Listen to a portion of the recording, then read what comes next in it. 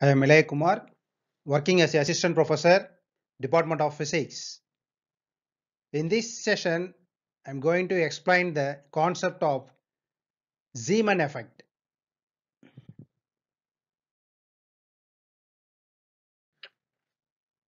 So first, you see the statement for Zeeman effect. So what is meant by Zeeman effect? It is a magneto-optical phenomenon, which means if a source of light producing line spectrum is placed in a magnetic field, what happens? The spectral lines are observed. Those spectral lines are splits up into components. So we can classify the Zeeman effect into two forms, normal Zeeman effect and anomalous Zeeman effect. So there is a slight difference between those normal Zeeman effect and anomalous Zeeman effect. So what is mean by normal Zeeman effect? The splitting of spectral lines into two or three components or two or three lines, it is called normal Zeeman effect. And it can be easily explained quantitatively by using the classical theory. When the splitting occurs into two or three lines and it can be explained quantitatively by classical theory. So what is meant by anomalous Zeeman effect? The splitting occurs into more than three components. In ordinary weak magnetic field is called anomalous Zeeman effect. And one more difference between normal Zeeman effect and anomalous Zeeman effect is this cannot be explained by classical theory where normal Zeeman effect could be explained by classical theory but anomalous Zeeman effect it cannot be explained by classical theory. This is the basic difference between normal Zeeman effect and anomalous Zeeman effect.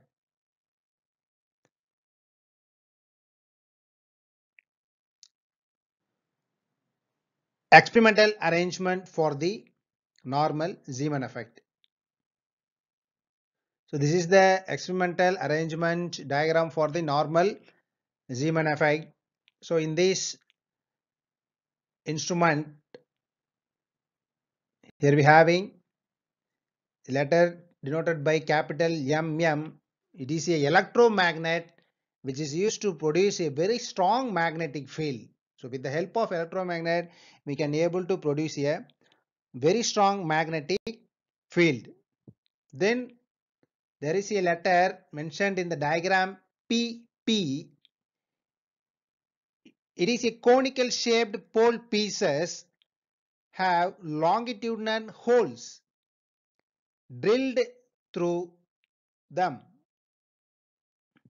Then there is a L source of light which gives the line spectrum.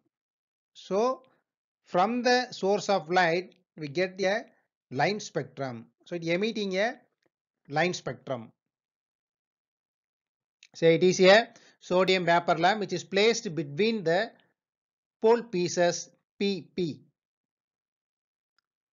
So there is a yes which is mentioned in the diagram. It looks like a high resolving power spectrograph. The spectral lines are observed with the help of this spectrograph which is a high resolving power.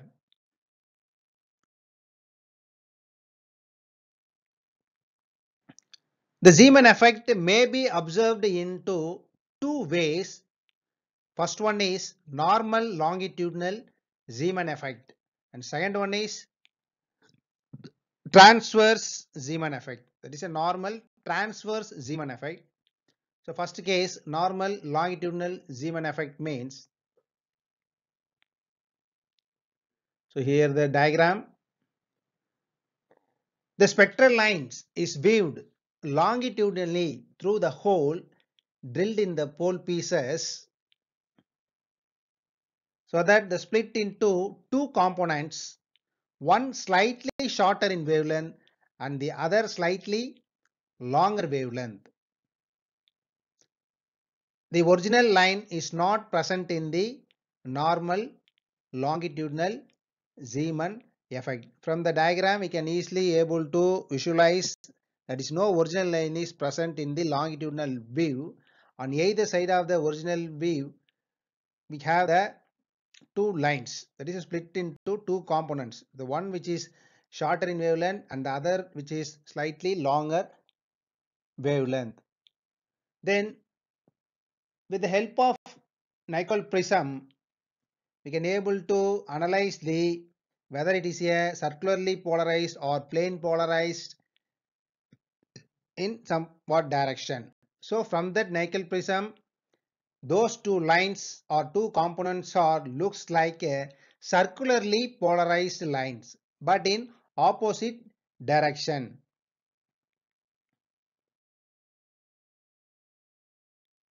Normal transverse Zeeman effect. So there is a little bit difference between those normal longitudinal Zeeman effect and the normal transverse Zeeman effect. You look at the diagram. For transverse wave, we have a original line. The wavelength of the third component which almost looks like the wavelength of original line. That is, the spectral line is viewed transversely but perpendicular to the direction of a magnetic field. The splits may be into three components. The central line has the same wavelength as the original line. With the help of uh, my Nicol prism, we can able to detect that polarized is plane in nature.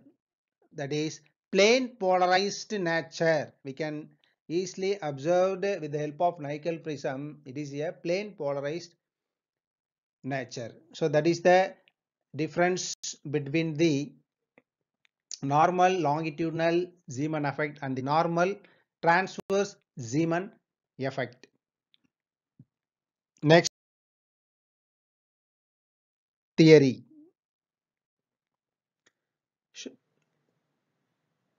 So in this Lorentz classical theory, the frequency of the spectral line is given by the frequency of vibration of the electron in an atom. So the spectral line frequency purely depends upon the vibration of the electron in an atom. For the charge in the direction of the field along the field linear motion along the field is not affected. So there is no mechanical force acts for the charge along the direction of the field in linear motion. The other two circular components are affected by the magnetic field. One being retarded and other being accelerated. So what is mean by longitudinal wave? For longitudinal wave, no light waves are observed due to the unaltered linear component. So for the longitudinal wave, we cannot able to find the light waves and also original line is not observed in the longitudinal wave. Two altered circular components which are perpendicular to the field produces circularly polarized light waves. So in longitudinal wave can able to visualize the uh, plane or circularly polarized light waves are observed. So instead of plane we can able to find the circularly polarized light waves are observed in the longitudinal view. So what about transverse view?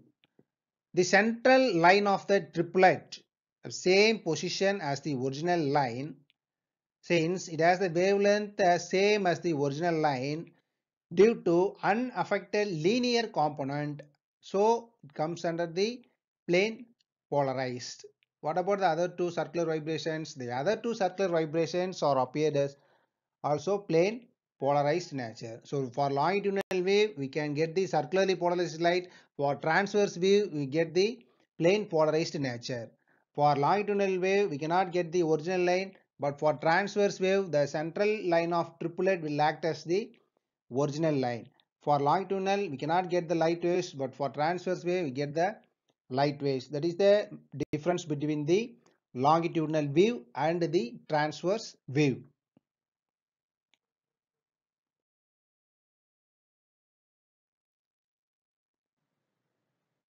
So there is a expression for the Zeeman shift.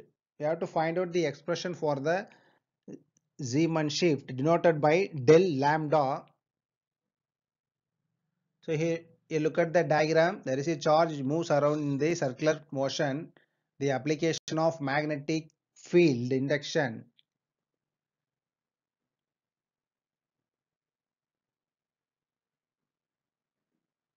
Consider an electron in an atom moving in a circular orbit of radius small r with a linear velocity v and angular velocity omega. So here we consider an electron which moves around a in circular orbit of radius r.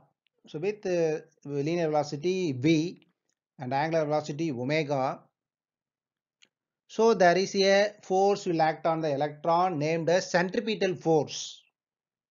So first you write the centripetal force on the electron but in the absence of the magnetic field is given by F equal to mb square by r which is equal to m into omega square r. Put as equation number 1 since linear velocity b equal to omega into r.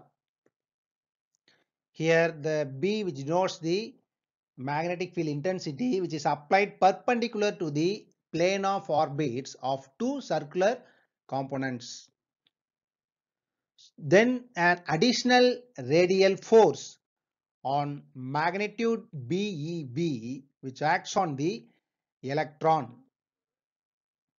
So there is a two form of motion for the charge E clockwise motion and anti-clockwise motion. What happens? The direction of force for clockwise motion the direction of force will act outwards. In anti-clockwise motion the direction of force acts inwards. So that is the difference between clockwise motion and the anti-clockwise motion. So Larmor precession is nothing but a complex motion of the electron due to an additional radial force. So once the additional radial force acts on the electron, so we called as Larmor precession. It produces a change in the angular velocity without any change in the form of the orbital. Larmor precession it start to produce a change in the angular velocity without any change in the form of the orbital. So here del omega is a change in angular velocity caused by the field. So once we apply the magnetic field B on the moving charge of electron, so there is a change in angular velocity. So for clockwise direction, the additional radial force is directed away from the center. So therefore F minus BEV equal to M into omega plus del omega of square into R. Put as equation 2. And further simplified those equation 2 we get m omega square r minus m into omega plus del omega square r equal to be omega r. So we get minus 2m r omega del omega equal to be omega r. So here we neglect the del omega square. Then we get del omega equal to minus be by 2m. Put as equation number 3.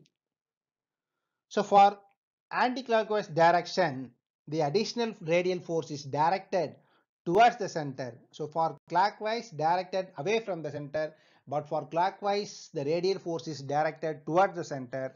So we write the equation as F plus BEB equal to m into omega plus del omega square or so del omega equal to plus BE by 2m equation number 4.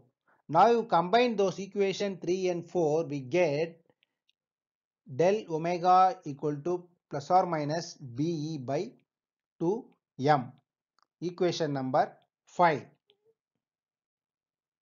Then we know the nu uh, as the frequency of vibration of the electron. We know the basic relation between the angular velocity and the frequency which gives omega equal to 2 pi nu.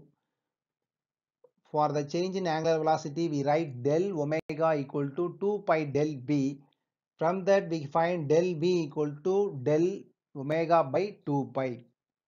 So the change in the frequency of the spectral line, change in the frequency of the spectral line is given by del B equal to plus or minus BE by 4 pi m, equation number 6. If V and lambda are the frequency and wavelength of the original line, if nu and lambda are the frequency and wavelength of the original line, so there is a relation between frequency velocity lambda or nu equal to c by lambda.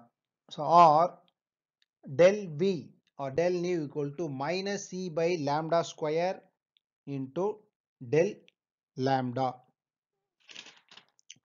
Thus the Zeeman shift from this we have to find out the Zeeman shift del lambda equal to plus or minus del lambda equal to plus or minus be lambda square divided by 4 pi m c. So this is the final expression for the Zeeman shift. So dear students in this session we saw the concept of Zeeman effect and experimental arrangement of the Z normal Zeeman effect. Then according to Lorentz about the normal Zeeman effect. Then finally we can find out the expression for the Zeeman shift.